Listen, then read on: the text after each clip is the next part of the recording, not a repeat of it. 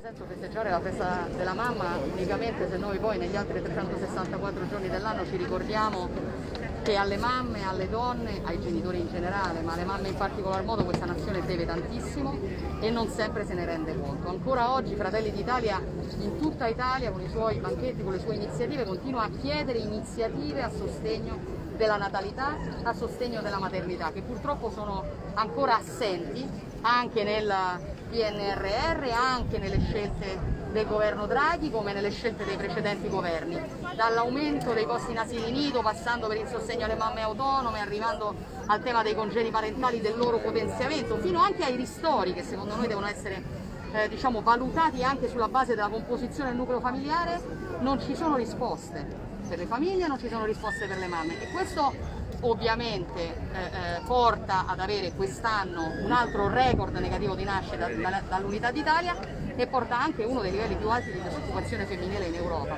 per l'assenza di servizi. C'è una cosa che questo governo dal suo punto di vista ha fatto bene?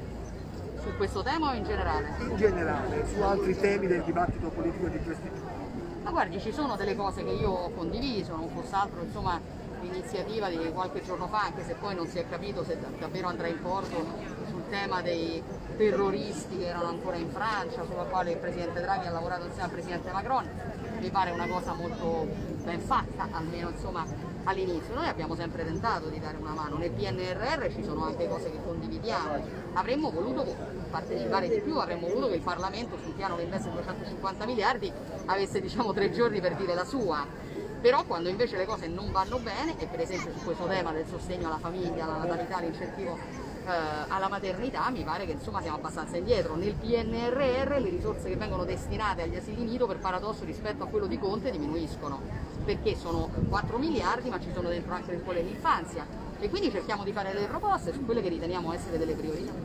Secondo lei sulla questione riforma della giustizia Lega e Partito Radicale fanno bene a iniziare questa loro iniziativa, scusi, bisticcio di parole con il referendum? Ma guardi, a me sembra un'iniziativa interessante, sicuramente la giustizia è un tema che da noi non può essere rimandato e che non deve essere affrontato né su un piano ideologico né come uno scontro tra la politica e la magistratura. Credo pi piuttosto che la parte sana della politica e la parte sana della magistratura, che sono entrambe, per come la vedo io, maggioritarie, si debbano prendere per mano e debbano capire insieme come si fa a uh, impedire che ci sia un sistema che non riesce spesso a dare risposte sul tema della certezza del diritto, sul tema della certezza della, della pena, con tutto quello che comporta anche eh, sul piano degli investimenti per una nazione come la nostra e poi insomma sicuramente quello che leggiamo sulle cronache circa diciamo, l'occupazione correntizia della magistratura eh, per un sistema eh, come il nostro insomma non, non fa ben sperare, bisogna metterci le mani. Grazie signora. Grazie a lei. Altri che devono fare domande? A posto. Volete fare la fare... Ok, facciamo così. Ciao! Che bello questo fiore!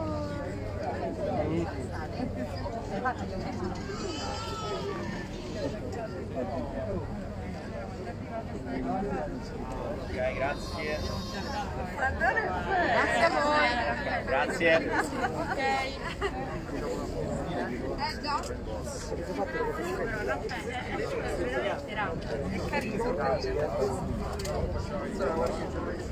Ah, questo l'ho gratito personalmente, ecco perché sono un po' Grazie della pazienza. Arrivederci. Sì.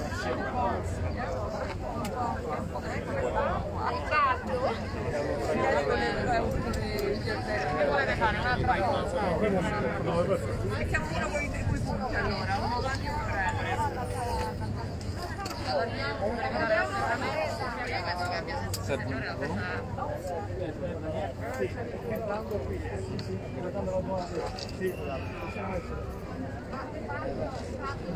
Quando vuoi?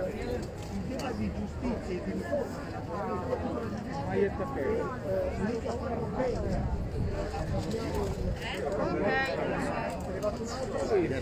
Abbiamo fatto tutto. Grazie. Grazie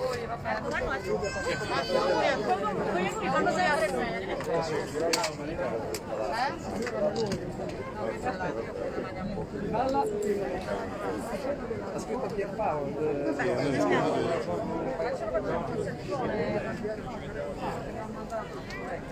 Ma forse a giugno scende,